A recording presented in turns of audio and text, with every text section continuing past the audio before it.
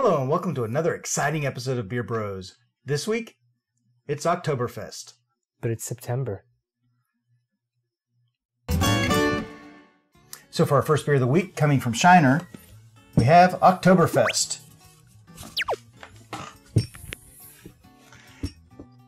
Not good with talking.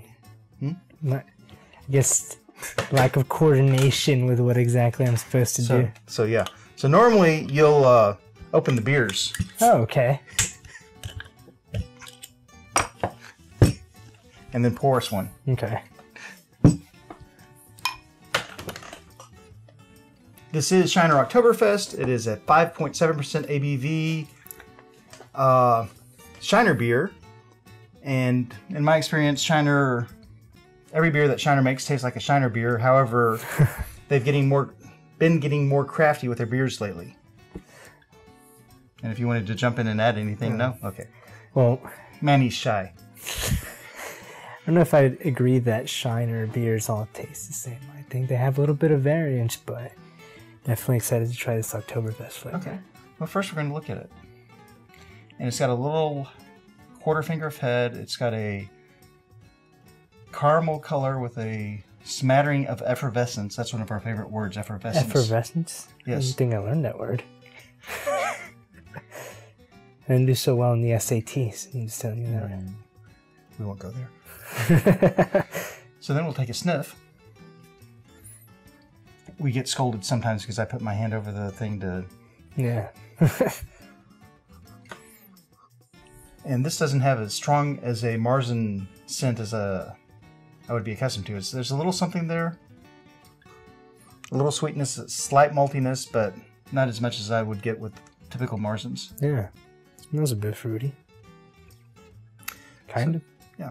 And this is the part where we go clinky drinky. Some people say Prost. it's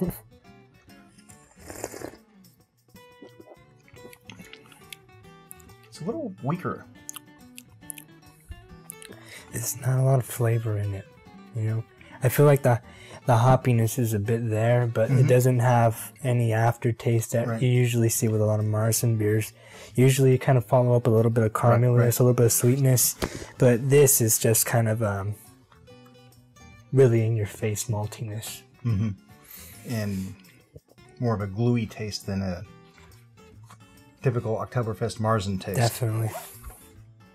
But It's beer. it's beer. Doesn't taste like corn like certain other beers that we've had on the show. Oh God, um, I don't even want to know.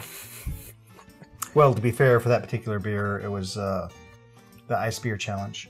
The ice beer challenge. Yeah, bucket full of ice beer and psh. Oh, for a second I thought you were gonna say you got like a bunch of Bud Ice and like, No, this was uh, better. It was Frio.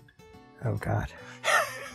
yeah, I didn't even know that was a thing until I went through an HEB once and then realized like, man, standards are just getting mm-hmm. way lower. Yes, yes. So with that, be sure to like, comment, and subscribe. And if you're watching on YouTube, ring the bell.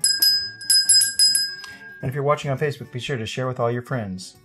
So until, well, today's tech, supposed to be Monday, but I think today's Wednesday because I'm not going to be able to edit until Wednesday. So until Thursday, Beer Bros out. He'll get better. Yeah.